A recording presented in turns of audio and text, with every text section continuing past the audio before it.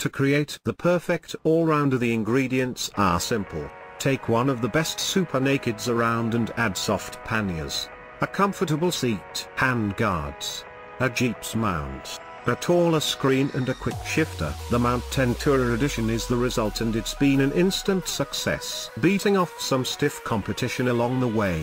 During the summer we headed to the west coast of Scotland and pitched the Yamaha against a variety of different sized and priced tourers, the Yamaha FJR 1300 and Tracer 900, BMW S1000XR and Suzuki GSX-S 1000F. None could match the MT's enviable mix of laugh-out-loud fun and high-mileage practicality. I first rode the new machine at the start of the year at its launch in South Africa and was blown away by how easy it was to use, its simplicity, classy engine, handling, all-day comfort and wallet-friendly value for money.